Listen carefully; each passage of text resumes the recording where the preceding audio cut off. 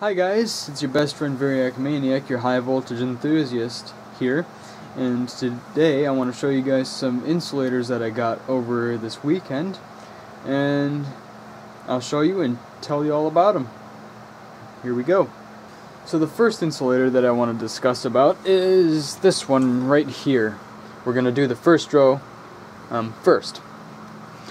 This insulator I got at an antique shop and as you can see it is made out of rubber. It's a harder type of rubber unlike my other rubber insulators which are actually flexible.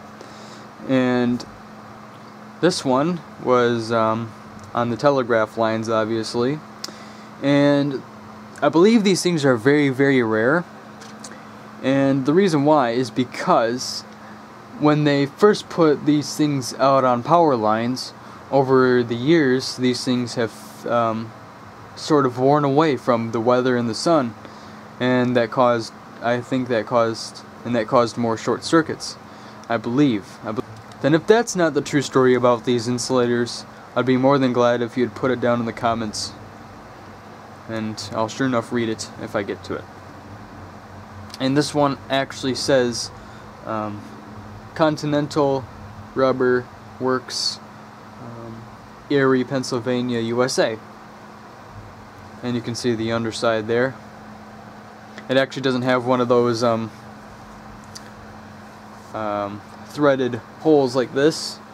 Like you'd put that on a post. So you can see it's uh, much wider and it'd fit uh, a normal post. This one would fit a thinner post for power lines and that's where it would be. Um, so that was that insulator. Then here's this one, which is actually made out of plastic. And it probably has the same story of this one because I think these may be rare as well. I don't see very many of these out there. Um, doesn't have any uh, logos on it or any words on it, but it's very similar to the the glass Hemingray ones, like this one. It's very similar.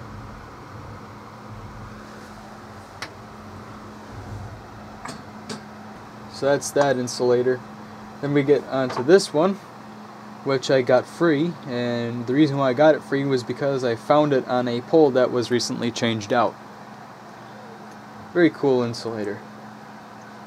I like the, the um, spool type, they're pretty cool.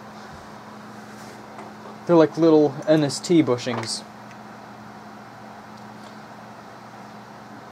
Or neon sign transformer bushings. This one up here, this one is a continuous white color and it does not have a radio treatment on it.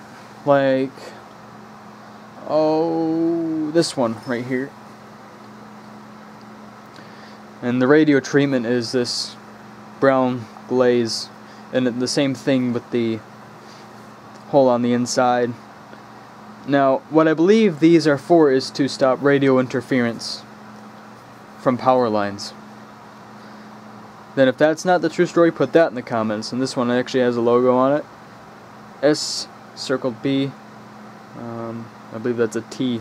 I'm not really sure what that logo stands for, but it's pretty cool. Um, a lot of these uh, insulators I find um, basically everywhere from you know, storms that knock down poles, and then they throw away these poles, and then I collect the insulators off of them. Um, then we go to the glass ones here.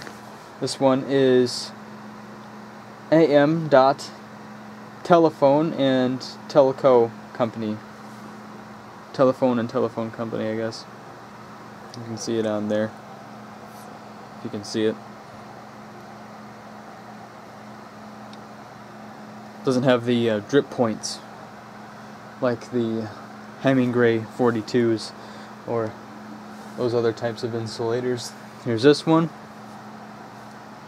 This one's actually uh, fairly unusual. I've never seen one like this before. It has kind of like a thread on the top. Not like this one where the wire, you know, would be wrapped around that. But instead it's kind of like a thread. Maybe another insulator would go on top of this for higher voltage or maybe to prevent crosstalk from back then. So yeah, very cool. That's why I like these insulators, and I collect a whole bunch. As you can see in the background here, you can see these big strain ones, and there's actually I got a whole ton more insulators than this. But this obviously goes into the collection because insulators are cool, no matter if they're big or small. Now we start out with these ones. These are suspension strain insulators, probably the ones that carry the most high voltage in this group, the most voltage. And as you can see, they're joined by cotter pins like this. Not a bobby pin, a cotter pin. A, uh, my sister likes to call them uh, bobby pins. And these bolts.